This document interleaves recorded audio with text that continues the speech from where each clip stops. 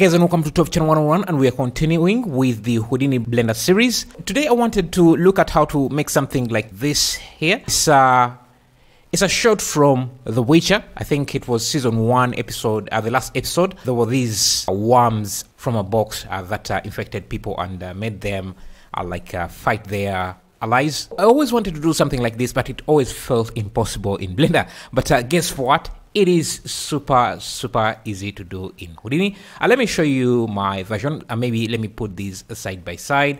Uh, I'll get my version here. Here is my version. So I rendered this out in in Blender, and I think it really came out well. Uh, the worms are animating. You can see each one is yeah unique and uh, it's like they have a, a, brain so you can see that this one is feels like it's really trying to get out of the box and then the others follow. Uh, similar to the what we have in the in in the Witcher's version. So uh, I can come here you can see the box opens up and you get some slugs. So this is my setup. You don't need all of these. Uh, this is just me testing out different things and uh, just helping out anyone who might want to take take a look at my project, understand what the project does. This is all that you need. Just to be clear, this is not a comparison between Houdini and Blender. It's just a showcase of efficient workflows. If you want to create a scene like this, it's really difficult to do in Blender and it's also difficult to do in Houdini. So a combination of Houdini and Blender makes it super, super easy. Adding Houdini to your arsenal is going to really, really increase your earning potential. So let's get into this project and uh, let me explain what I'm doing here. So yeah, the first thing I did here was create the colliders and uh, you can see that uh, these are within some boundaries. Let me show you that container. Uh, so that would be uh, this. It's just cube with another cube and made it raise up. So the way I modeled it was just using a cube, uh, I transformed that cube into something smaller and thinner, and then use the booleans to boolean subtract. So if I look at this and this, you can see I'm subtracting uh, this larger piece, this smaller piece from this to make a container like this. And uh, uh I created these outputs for one for this container and then one for this cutter here. Here I'm creating a grain simulation just to test out the concept to see if I can do the simulation by just adding, dumping a few of these worms into a container and then using something to push them out like in the Witcher version. I started with something simple uh, that was just grains and I think we looked at grains in a previous video. So here I'm creating some vellum grains which is just a bunch of spheres like this that can collide with each with each other. And uh, here I'm just trying to add some constraints to make them attach to themselves but uh, it's not really necessary for this.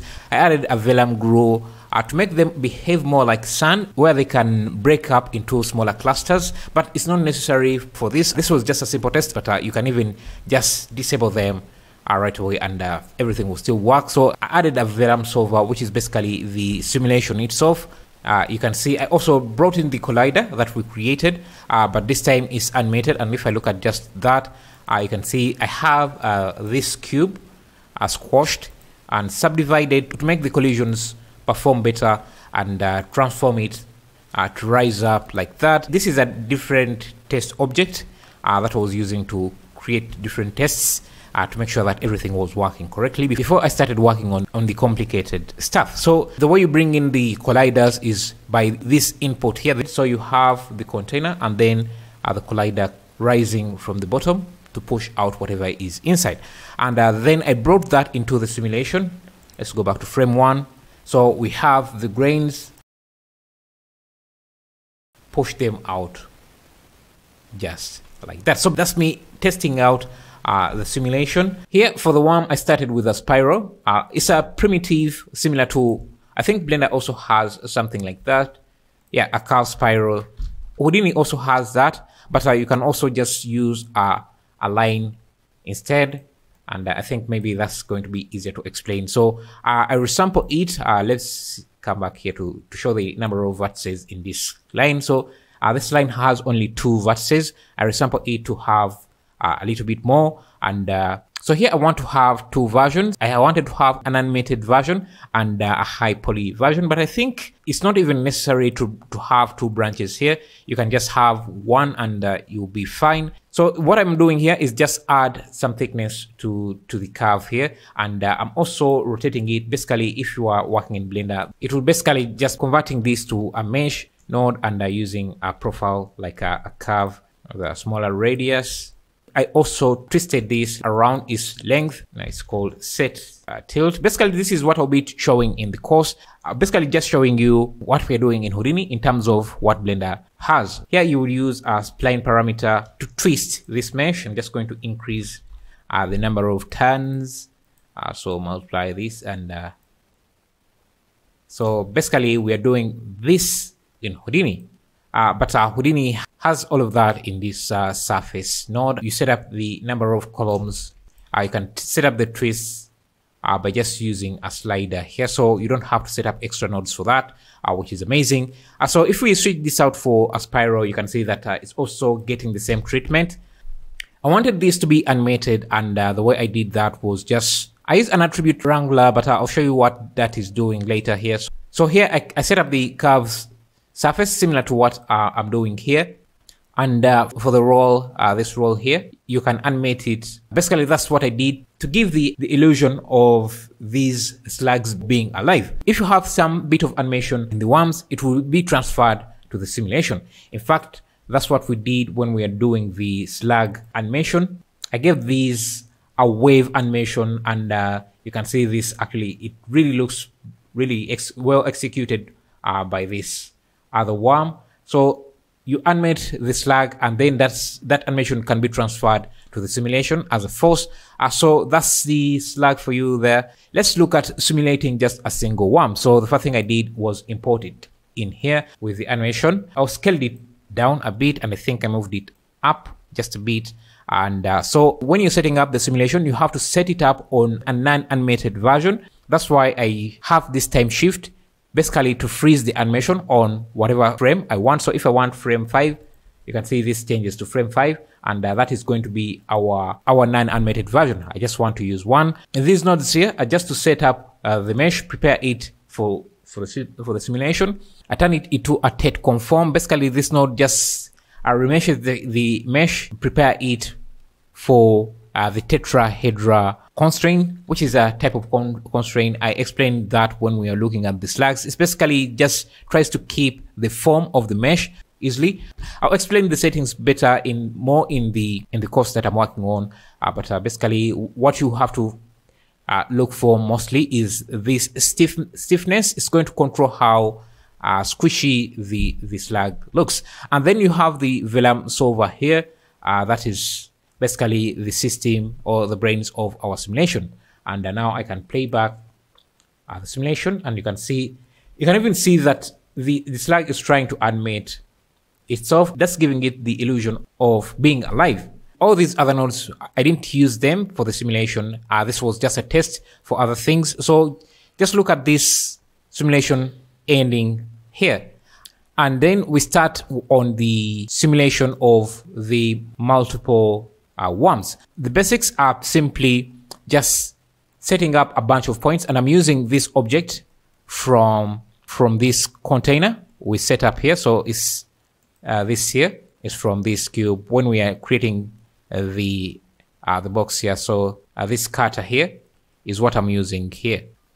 So I bring it in, transform it, I turn it into points just like that. I didn't change the, their order. I just used the grid because I knew that uh, this is going to work very well. Uh, then uh, I transformed those points uh, or scaled them down and uh, added some attributes for orientation, just basically to allow for random rotation of the points.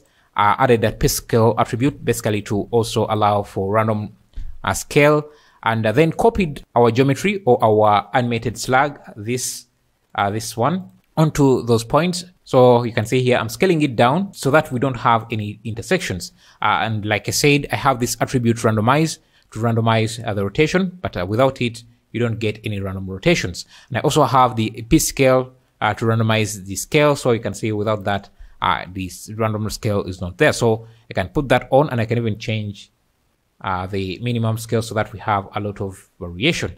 Then I can bring back the P, the or random orientation to get the random orientation and just making sure that we don't have any intersecting pieces and uh, that's great. Now you might be wondering why I used a spiral worm instead of a line worm. Let me show you here. So here, if I switch out the line worm, you can see that first of all, it doesn't look very interesting and uh, the length of the worms is also going to be small. If you make it long, if you make the worms longer, they're likely going to intersect more, uh, but uh, I can have a very long worm without any intersection uh, as long as I have it in a spiral form. And uh, you can see uh, the unwinding they also unwind, which also creates a very interesting effect. So you can see they start out uh, like uh, spirals and uh, then they unwind, which makes them really look amazing, I think. By the way, the simulation doesn't start right here. I cut it off. If you go to Blender, you should see that my time starts at 20, but actually it should be at zero. So these uh, these all start up in the air like that and then they are dropped. They are pushed up just like that. You can see how they try to unwind uh, which makes uh, the effect look even better. So yeah. You copy them to the point but uh, remember if you're working on a simulation you don't want these to be animated so i use a, time shift to freeze the animation and uh, then use a tet conform uh, but uh, let me first reduce the point count to just speed up this. So I don't want that many. Let's just use about maybe like, uh, yes. I use the tet conform to turn this into a mesh that this tet tetrahedra can use. So yeah, this is the constraint setup. Uh, these are struts. We don't even need those. And then uh, we run, we set up the solver. And uh, if I play back, we have uh, the worms. So the rest is, yeah. I remember uh, the animation of the worms was removed using this time shift. So we have to bring it back to the simulation as a force. So if you double click on this node here, you can see I have a, geometry wrangler here to set up the animation as a force, uh, basically with a few lines here. I think I'm going to, I'll explain this better in the, in the coming course, but, uh, so the idea is if you have two objects, two similar objects animated, for example, this has no animation and uh, we have another one with the animation here. So let's say this here and uh, it's rotating, jumping around. So let's say this is our animation, just like that. In the simulation, you can set it up so that this unanimated object tries to match the shape of this object. So, uh, for example, these vertices here are the same vertices of here. So it will just try to push these vertices to this point, uh, to this point here on every frame. So as this is animated, so these vertices go up here. So then uh, Houdini creates a force trying to pull these vertices from here to this position. And uh, on another frame, uh, these will go here.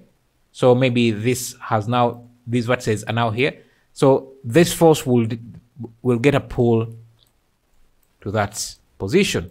But uh, our animation was quite simple. It was just simply as a, a rotation like this. So the unanimated version of this would be we'll try to match the animation of this. The unanimated mesh will, will get a force that tries to twist it as well. So basically, that's what we are setting up here with this uh, geometry wrangler. So we have the froze, the mesh that is not animated, and then we have the animated. And uh, the force is basically uh, creating a force that targets the animated minus the frozen, creating a force from the animation. And uh, I set up a force strength. So if I increase that, go back to the simulation here, and actually let's let's look at this on the single on the single mesh. You can see as it tries to rotate, I can go into this and uh, look at the geometry wrangler and uh, increase the force strength, let's say to 10. Go back to the simulation. And you can see that now it's try it's really trying to match the animation, uh, but uh, remember it's also incurring uh, the simulation forces like gravity uh, the tetra constraints and everything. So yeah, that's why you, different forces are fighting together uh, to create this animation.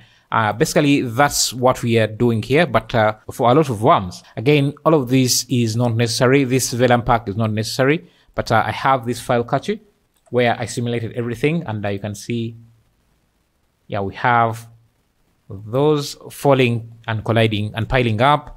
Uh, so this point deform is is uh, to transfer the animation from the low resolution to the high resolution, just like that. So um, if you have ever tried to do that uh, Witcher worm simulation, I, I, think this is the best workflow you can. Uh, uh, I think this is a great workflow for you to follow. Uh, just simulate some worms in Houdini, and uh, I really like how this worm came out. It's it's like it's looking for something, and yeah, they really have that feeling of being alive. And uh, yeah, so if you want to check out the project files, you can get them on my Patreon page. And that's it. Thanks for watching. See you in the next video. And uh, don't forget to check out my geometry nodes course. A Blender is not going anywhere. In fact, it's getting better. So you should pick up some geometry nodes as that is going to be a big part of Blender's future. And uh, I have a master master geometry nodes course, which is go also going to be very, very relevant for when we start looking at the Houdini course because I'll, I'll be teaching Houdini in terms of Blender Blender geometry nodes. So check that out. Udemy is running right now uh, a discount, I think. So you can get the course at a discount, and uh, that also helps out uh, the channel quite a bit. So if you want to check that out, links are going to be in the description. See you in the next video. Thank you.